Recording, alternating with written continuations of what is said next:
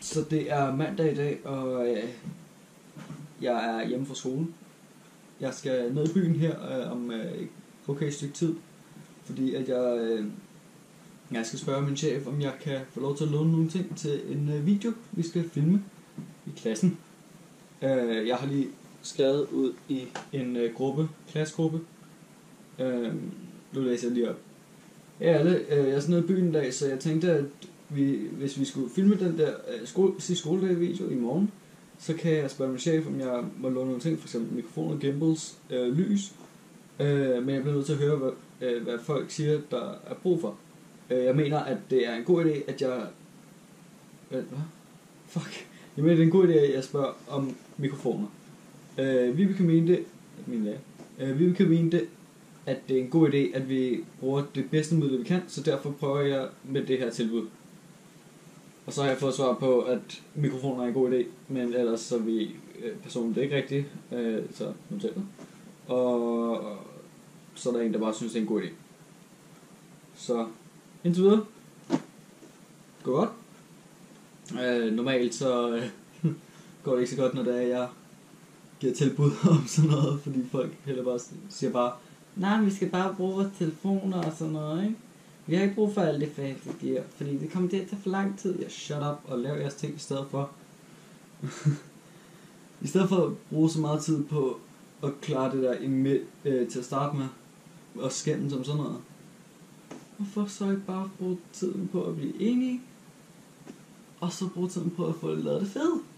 Fordi man får et meget bedre end, endprodukt, fordi at, øh, vi ikke har så meget nok tid til at lave det, som øh, man burde få. I morgen skal der filmes, forhåbentlig, efter øh, geografi. Jeg skal være på skolen kl. 20 minutter 9, og så er vi færdige klokken halv 10. Og så kan det være, at jeg er hjemme omkring klokken 2. Kl. 1 måske. Det kommer selvfølgelig an på en masse ting. Men øhm, sådan som videoen ser ud ind, indtil videre, så starter den med, at øh, jeg går med det kamera, som filmer på lige nu faktisk. Og øh, filmer en vlog. Og det bliver sikkert fucking cringe, og jeg er virkelig nervøs omkring det. Ikke, ikke at filme det, men fordi det er rimelig normalt for mig. Men at se det med alle de andre, fordi jeg hader at se mine egne ting sammen med andre, især når jeg er på. Så det bliver i hvert fald noget. Men øh, ja. Der er en, der skrevet. Det ikke ved, hvad en gimbal er. øh, øjeblik, jeg skal lige svare, så får I svar bagefter.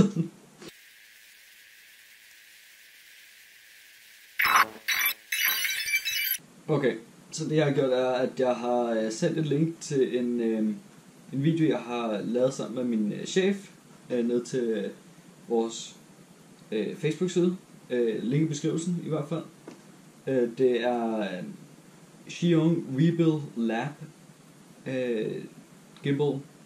Det er en virkelig, virkelig lækker gimbal, som vi solgte for noget tid siden. Men øh, ja, den er i hvert fald der. Og øh, der er link til den, til dem, der har lyst til at se den. Og det giver forhåbentlig et meget godt indblik i, hvad en gimbal er. Men det er en ting, som jeg rigtig gerne vil have, men øh, jeg ikke har råd til. Så det, hvis jeg er heldig, kan det være, at jeg kan få lov til at låne den.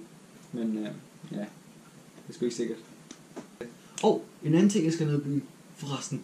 Jeg skal øh, købe mit kostyme hjem. Og så skal jeg prøve det senere i dag, hvis det er, at jeg har alle tingene. Jeg, øh, for jeg er der ikke... Jeg, jeg har ikke sagt det, så hvordan skal jeg vide det? Øh, jeg skal være John Wick til øh, til skoledag. Fordi at jeg er rimelig obsessed med de film. Øh, jeg, jeg er rimelig obsessed med de øh, film, og jeg har allerede set inden for de sidste øh, 16 timer eller sådan, og har jeg allerede set øh, den etteren to gange, fordi jeg så den med Thijs i går, og jeg lejede den for 29 kroner, og den skal ikke, de 29 kroner skal fandme ikke gå til spil, så øh, jeg så den igen. ja. Øhm, men jeg skal ind og se træerne her på lørdag sammen med Jord og Thijs. Så det bliver fedt. Men øh, ja. Så det er, er ham, jeg skal være dertil. Så jeg skal bare have det helt sorte outfit, ikke, i stedet for øh, den øh, hvide skjorte, så tager jeg en sort skjorte, fordi det er lidt nemmere at se. Og så øh, skal jeg bare have, altså min, jeg skal nærmest bare dyppe mine hænder i gelé, og så bare sige, og så prøver jeg på at få noget hår, der sted. Så jeg skal bare slå noget tid ihjel, indtil hun kommer. Ja. Fuck, det er 8,5 minutter klip. Fuck, jeg kommer til at have mig selv senere, når jeg reagerer. Uh.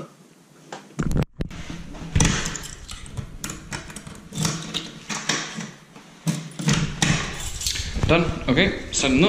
Min mor holder nok den altså ned lige om lidt. Hvis altså hun ikke allerede gør det. Så... Let's do this.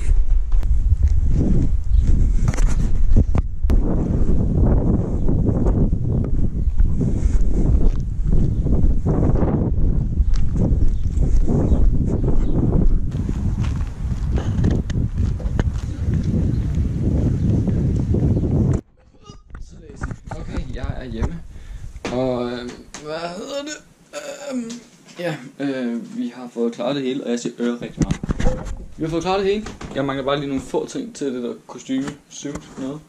Øhm, jeg vil lige sige, at jeg har nok verdens bedste chef, og han øh, putter rigtig meget tiltro til mig, og det har jeg det ikke. Øh, det, jeg er en lille smule utryg ved det, fordi han har faktisk lånt mig hans eget personlige kamera. Øhm, det er meget skræmmende. Det er øh, det her Olympus OMD kamera. Og så har jeg fået lov til at låne den her bøjer mikrofon til. Hvilket er en af de bedste øh, øh, shocker mics vi har i butikken. Så øh, det er vildt. Jeg skifter til det lige om lidt, men øh, jeg vil lige prøve det der, øh, den der syv. Så øh, det gør jeg lige. Og oh, lige en ting inden. Øh, jeg har øh, faktisk lige set, at øh, der kom øh, en øh, fed ting med i min øh, i, i, i postkassen. Så det øh, kan vi da lige se. Nogle kender måske det her Case Company, men øh, det er uh, uh, uh, der er noget. Der er et lille TCS-logo, der står Homer TCS, jeg tænker, så har jeg da endelig cover for den her. Nå, det er ikke godt.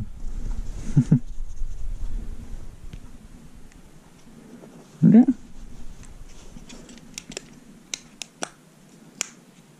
Sådan. Åh, oh, det var ved at nu.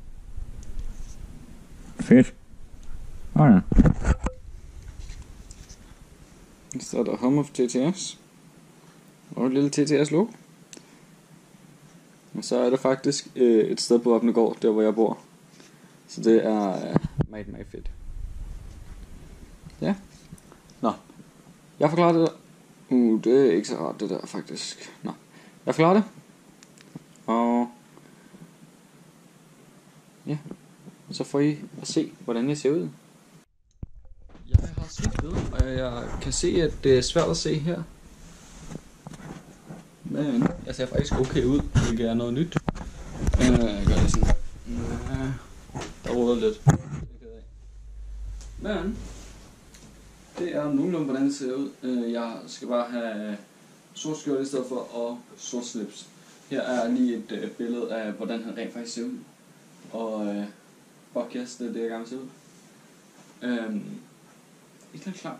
Ja. Nu prøver jeg lige at skifte til øh, Olympusen derovre.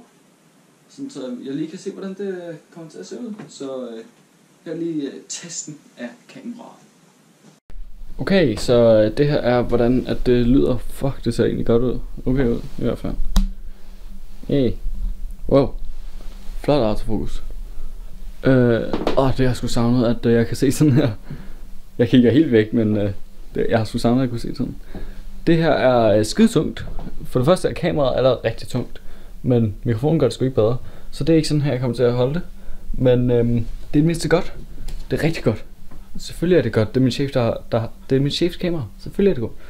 Øhm, men det her er i hvert fald, hvordan at, det, det lyder. det er sådan, det kommer til at være i øh, det meste af filmen, eller videoen.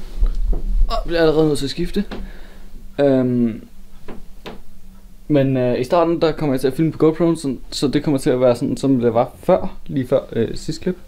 Og det kommer resten af det her også til at være, medmindre jeg får lov til at bruge noget af det, som vi har fået filmet i videoen. Wow. Hvordan, hvordan er det her?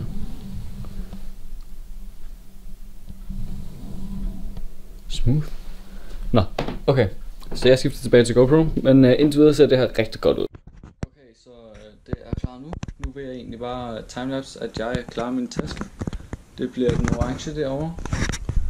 Uh, og den store computer kan ikke være der i, så jeg tror, jeg bliver nødt til at tage den lille med. Ah, noget lort. Nå. Ah, det kan være, jeg finde ud af. Jeg prøver at finde ud af noget, sådan, så jeg måske kan tage den ordentligt med, fordi den anden er virkelig, virkelig dårlig. Men øh, jeg får lige pakket alt. Ah, oh, dammit, jeg spurgte, jeg kunne låne lys. Fuck det. Nu fik jeg i hvert fald... Øh, jeg, jeg fik øh, også spurgt om øh, den der gimbal, men øh, den var lovet til en, en øh, chef. En, øh, den var lovet til en kunde, så det kunne jeg ikke. Det var der ikke rigtig mulighed for.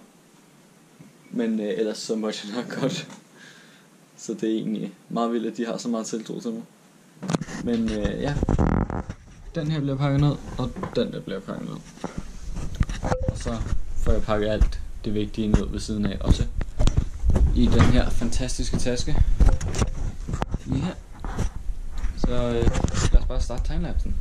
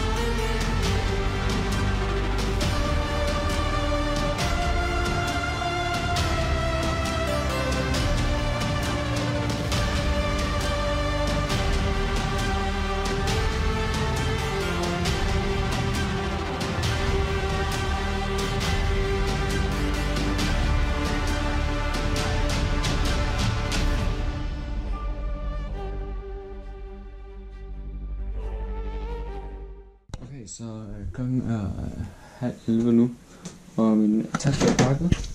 Jeg kan ikke se skidt lige nu, fordi der er mørkt og helvedes til. Min taske er pakket. Øh, nu skal den bare lukkes, så det klarer jeg lige. Og så det her. Så lynes. Jeg har fået...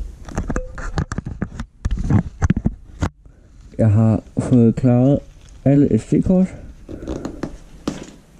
Ah, Kom nu.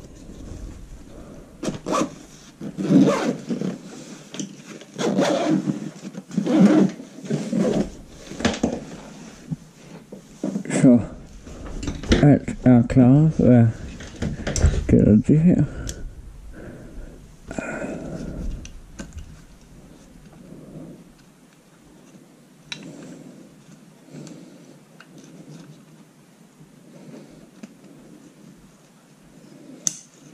Og der, så er den i hvert fald klar.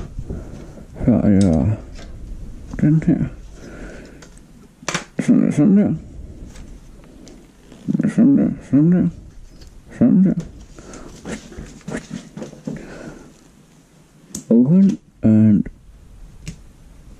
Open. Uh, noget der. Ind. Close. And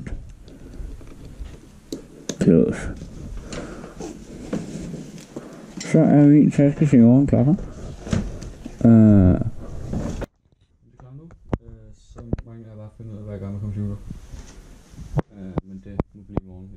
klokken.